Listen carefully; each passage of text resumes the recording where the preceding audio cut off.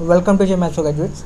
Today we'll talk about exactly what information we get if it is given that sequence is convergent. Okay, so if it is given that sequence AN is convergent, then we can say sequence AN is bounded okay. And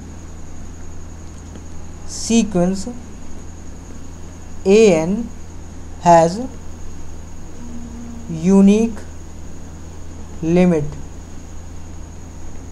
Okay. So this first information means that every convergent sequence is bounded. So i can say if any sequence is unbounded then that sequence is definitely not convergent. Okay? So in short i can write a unbounded a unbounded sequence cannot converge.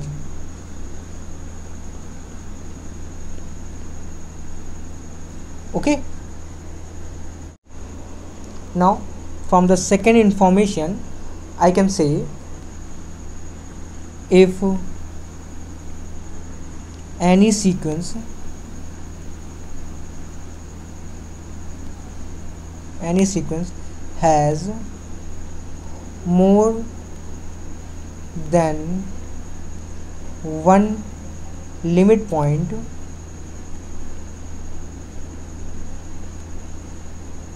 point then sequence cannot be convergent. Be convergent. Okay now let us prove these two results. Result 1 every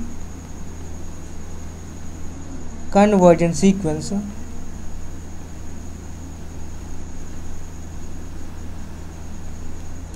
is bounded.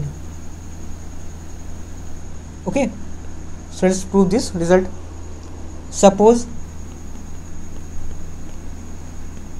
suppose an is the convergent sequence. Convergent sequence. Okay? Since it is convergent that means it converges to some limit okay? Suppose l is that limit. L is the limit. Now from the definition of convergent of sequence for any positive epsilon there exists a natural number m such that modulus of an minus l less than epsilon for all n is greater than equals to m. I can also write this inequality as minus epsilon less than an minus l less than epsilon for all n is greater than equals to m.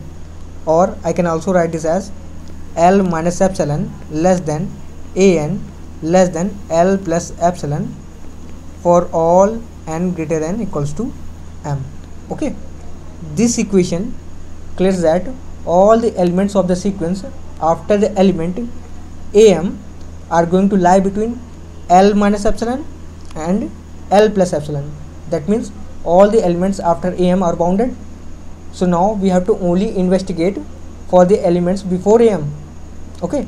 Let me explain it to you with the help of graph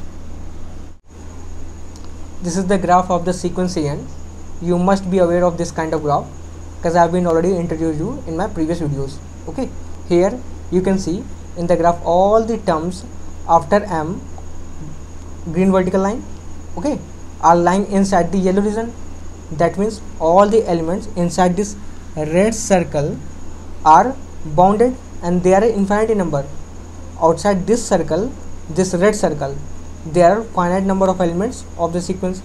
So out of these finite elements you can find the lowest and the greatest among them. Okay? Hence hence minimum of minimum of a1 a2 a3 am minus 1 l minus epsilon will be the lower bound of the sequence c equals to m. And maximum of a1 a2 a3 am minus 1 l plus epsilon will be the upper bound of the sequence say equals to capital m. The terms you are seeing here are those terms which are lying outside the red circle. That is these terms are the left side of the green vertical line. Okay? Hence all the terms will lie between this small m and capital M. That is a n will lie between this small m and capital M for all natural number. Okay? Hence hence sequence an is bounded. Okay. This is we have which we have to prove. Okay. Now let us prove. Second result second limit of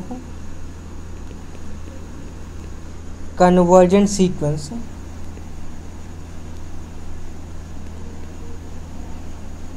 Sequence is unique. Okay. So to prove this suppose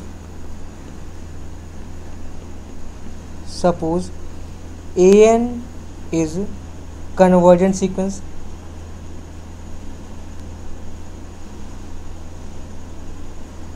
now let us assume that this sequence an converges to two different limit.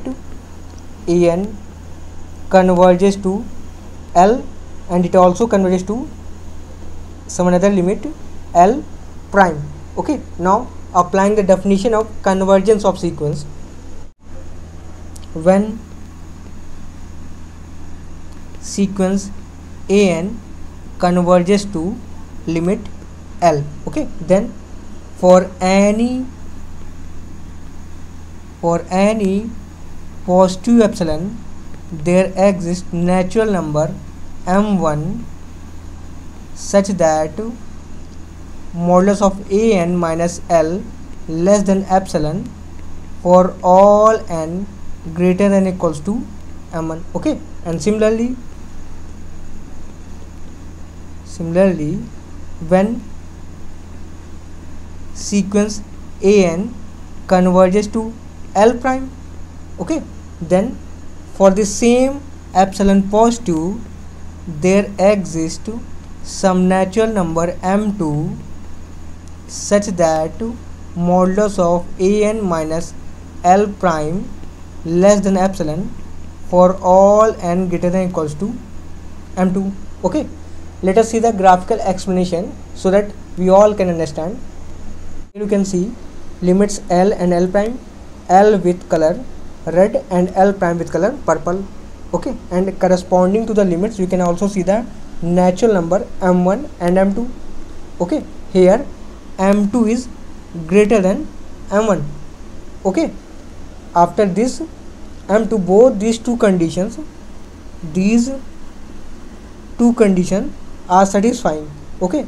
That means if if maximum of if maximum of m1 and m2 is capital M then this for this capital M if n is greater than equals to this capital M then an minus L less than epsilon and an minus L prime is less than epsilon okay now let us find modulus of L minus L prime.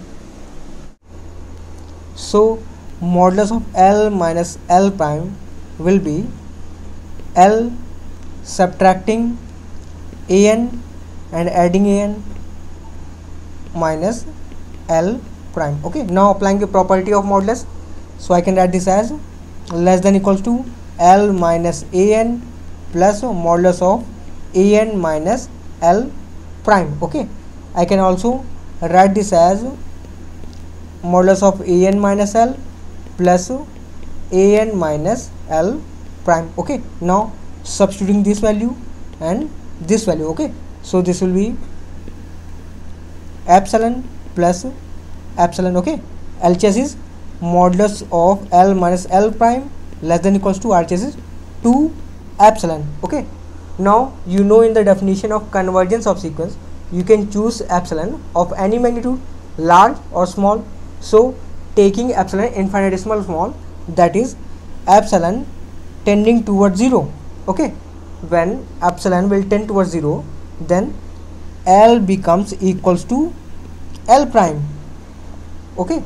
That means a convergent sequence cannot have two different limit points. Hence limit is unique. Okay?